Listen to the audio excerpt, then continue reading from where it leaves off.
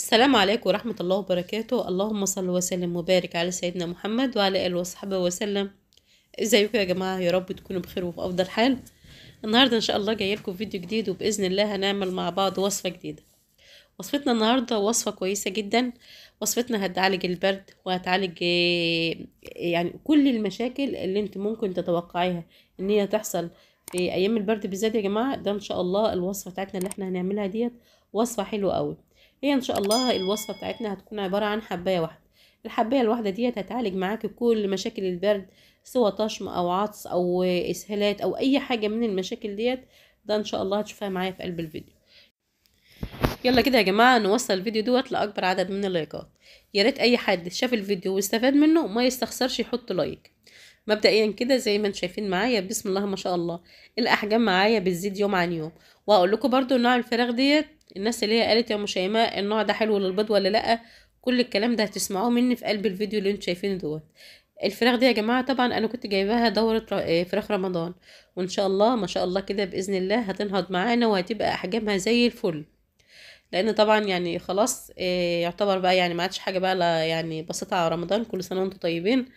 على ما يجي هتبقى بإذن الله بقى الأحجام اللي أنتم شايفينها ديت يعني ما شاء الله ادتنا أوزان عالية جدا. وطبعا الناس اللي هي عايزة تبدأ وتجيب برضو من دلوقتي هاتم وبإذن الله هت... يعني هتنهض معاكم وهتذبحوها شمرت برضو بإذن الله هتبقى حلوة. طيب النوع ده حلو يا مشامة للبيض؟ النوع ده كويس جدا جدا يا جماعة للبيض وعن تجربة. ده طبعا علشان الناس اللي هي فاكرة الفراخ دي ساسو ولا لأ ده طبعا مش ساسو ده الف... اللي بتبقى بعد الساسو. الدرجة اللي بتبقى بعد الساسو اللي هي إيه؟ جيل تاني. إحنا بنسميها يا جماعة جيل تاني اللي هي بتبقى بعد الساسو. تمام؟ بيب- بيبقى هجين يعني بس مش الهجين اللي هو إيه, إيه الساسو يعني لأ. ده بيبقى جيل تاني بنسميه كده. حلو في البيض؟ آه حلو في البيض وجميل وزي الفل. وكمان الأوزان بتاعت الفرخ حلوة قوي ده طبعا اللي أنتوا شايفينه دوت ده ديك. آه الحاجة الحلوة اللي أنتوا شايفينها في الفراخ ديت إن هي ما شاء الله معظمها يعني يعتبر برابر. قليل قوي لما انت تلاقي الديك كده معاك. وده طبعا اللي أنا عايزاه. بحب أنا البراب البرابر أكتر من الديوك. طيب الفراخ ديت إيه الفرق بينها وبين الساسو؟ اللي طبعا ده كويس يا جماعة. ده يعتبر يعني إيه؟ إيه يعني إيه زي البلد المهجن كده. اللي أنتوا شايفينه ده يعتبر زي البلد المهجن. طب الساسو الساسو حلو في البيض وكل حاجة وبيديك أوزان عالية جدا. بس مش بيستحمل. يعني ممكن إيه ما يستحملش معاك البرد قوي وممكن برضو في الحر ما يستحملش معاك الحر قوي وعندي ما أجي أوصله للب- للبيض يبيض معاك شوية وبعد كده يليس. يعني إيه يليس؟ يعني يربي دهون. البيض بتاعه بيبقى قليل جدا. تمام؟ عشان أبقى إيه أبقى واضحة معاكم. كل الحاجات ديت هتفيدكم يا جماعة فحاولوا إن أنتوا تكملوا معايا كده الفيديو الآخر علشان إيه ما نجيش بقى ون... يعني نبقى قايلين الكلام ونرجع تاني نسأل. لأ كل اللي أنتوا عايزين تسألوه إن شاء الله أنا هقوله لكم في الفيديو اللي أنتوا شايفينه ده. إيه فأنا جبت النوع دوت ده كويس جدا. فالناس اللي هي حابة يا جماعة تجيبه علشان البيض هو حلو. هيديكي بيض وهيديكي لحم برضو لو انت حبيتي إن انت تذبحي منه. آه، الساسو ممكن يعني عندما يجي بقى إيه يكون مرحلة الشمورت كده يبقى الفرخ يعني شمورت كده أقل شوية تعب تبص بقى الفرخ بدأ إن هو ينشف معاك تعملي المستحيل معاه برضو مفيش فايدة. يفضل ينشف لغاية ما يموت. أما النوعية ديت ده كويسة. اللي حابب يجيبها يا جماعة علشان رمضان يجيبها. هتبقى حلوة برضو معاكي وهتديكي أحجام كويسة جدا تقدري تذبحي منها على أول رمضان. تمام؟ طيب إيه تاني نوع حلو للبيض؟ إيه البلد المشعر. إيه ده خلي بالكم الدرجة ديت اللي بتبقى فوق البلد المشعر بقى. عشان إيه؟ أوصل لكم المعلومة بالظبط يعني. الدرجة اللي أنتوا شايفينها ديت بتبقى فوق البلد المشعر. فديت هي والبلد المشعر بتبقى حلوة قوي برضو للبيض وفي الأوزان بتبقى ما شاء الله على ممتازة. تمام؟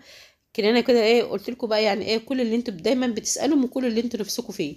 لو في أي أسئلة تاني اكتبوا لي برضو في الكومنتات إن شاء الله وأنا هرد عليه.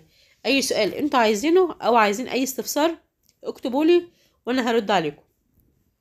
طيب النهارده بقى أنا هعمل إيه؟ يمكن قبل كده أنا عملت لكم وصفات كتير وفي المرحلة ديت إحنا إن شاء الله هنبدأ إن إحنا برضو نعمل إيه؟ وصفات تسمين علشان تخلي الفرخ ما شاء الله يزيد معايا الضعف. طيب إيه هل انت ام شيماء لسه بتاكلي بدو ولا لأ؟ أنا دلوقتي يا جماعة وأنت بأكل علف نامي بس النامي مفتت. تمام؟ علشان لما باجي أغير من بدي النامي بغي... ب... بحط لهم نا... النامي اللي هو المفتت علشان الفرخ يعرف ياكله. شوية بشوية ببدأ إن أنا أحط إيه؟ النامي الخشن. طيب دخلت دش ولا لسه؟ آه هنبدأ بقى من دلوقتي يا جماعة ندخل دش آه ناعم بسيط. يعني أول ما باجي أدخل الدش بدخل دش بسيط جدا. بختبر الفرخ كده. لو أنا حطيت له شوية دش ولقيته بينقر كويس كده يعني في الدش خلاص ببدأ بقى إيه أزود شوية بشوية. وأنا بإذن الله يا جماعة برضو أما أجي أحط الدش يعني إن شاء الله كده على الفيديو الجاي هبدأ إن أنا أحطه علشان الناس اللي جابت معايا تبقى ماشية برضو بالظبط.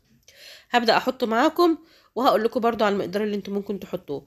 بس إن أنتوا تقللوا العلف من قدام الفراخ في الوقت دوت أنا ما أنصحش قد أي حد خالص إن هو يقلل العلف. إيه عندي ما أجي أعمل خلطة برضو هقول لكم. بس لو حطيتوا دش حطوا كبشة بسيطة خالص خالص خالص سايجة يعني ممكن تحط إيه؟ كبشة بإيدك كده صغيرة على الكيلو العلف اللي انت هتحطيه. خلي الأكترية علف خالص. تمام علشان الفرخ إيه ما يجيش ينشف معايا ولو نشف معاك في الوقت دوت استحالة ان هو يرجع يرد معاك تاني. كلامنا كده يا جماعة مفهوم؟ طيب تعالوا بقى كده يلا نشوف الوصفة بتاعتنا. واللي نسي يحط like يا ريت يحط like دلوقتي ويجي يشوف الوصفة بتاعتنا أول حباية.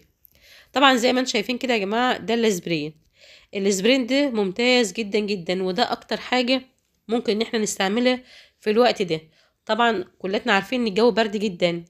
فعلشان كده دايما بيحصل عطس عطس أو طشم أو أي حاجة من الحاجات ديت. ممكن ساعات تلاقي إيه الفرخ كده ساعات جتته سخنة إيه يعني إيه بيحصل فيه مشاكل كتير يعني أو مضاعفات كتير في الوقت ده. فخلاف الحاجات دي كمان إن هو بيعالج كل المشاكل ديت إن هو كمان بيزود الوزن وده الحاجة اللي أنتوا هتستغربوا لها طيب قبل ما أقول إزاي بيزود الوزن هنكسر كده الثلاث حبايات لأن أنا عندي السقاية ديت بتاخد 3 لتر مية. فالمفروض كل لتر مية بحط له حباية. ده أنا كسرته يا جماعة زي ما أنتم شايفين كده. لو حابين تدقوها زي البودرة كده برضو مفيش مشكلة. أنا كسرته على قد ما أقدر يعني. هو كده كده هيبوش في المية. ده كده حطينا المية أهوت. وهندي دلوقتي للفراخ تشرب. زي ما قلت لكم لو في لا قدر الله جسم الفرخ سخن في طشمة في عطس أي حاجة من المشاكل البرد ديت ده طبعا بتوديها على طول. طب أنت قلت لها مش هيماء إن الاسبرين بيزود الوزن. آه يا جماعة الاسبرين كويس جدا. وكمان ساعات بنحطه للفراخ آه من غير ما يكون عندها طشمة أو من غير ما يكون عندها أي حاجة. زي ما أنتم شايفين كده دلوقتي إحنا الفراخ ما شاء الله ماشية معايا كويس جدا وسليمة وصحتها زي الفل. والسبرين أنا بحطه بس كده كوقائي. مرة واحدة كده في الأسبوع حلو قوي كمان بيزود الوزن. السبرين ما شاء الله بيزود الوزن. يمكن كمان أي دكتور بيطري لو قلت له يقول آه السبرين كويس جدا في زيادة الوزن. حلو. طيب آه دلوقتي زي ما أنتم شايفين كده أنا مش فرش أي حاجة لأن الفراخ طبعا آه باجي بالنهار بشيل من تحتهم الفرش أنا بفرش لهم قش علشان طبعا الجو برد. بس باجي الصبح بسيبهم باجي بالليل بفرش بس القش علشان يبقوا نايمين دافيانين. تمام؟ ده كان الفيديو بتاعنا النهارده. أتمنى يا رب يكون عجبكم. ما تنسوش تحطوا لايكات كتير للفيديو واستنونا في الفيديو الجاي بإذن الله.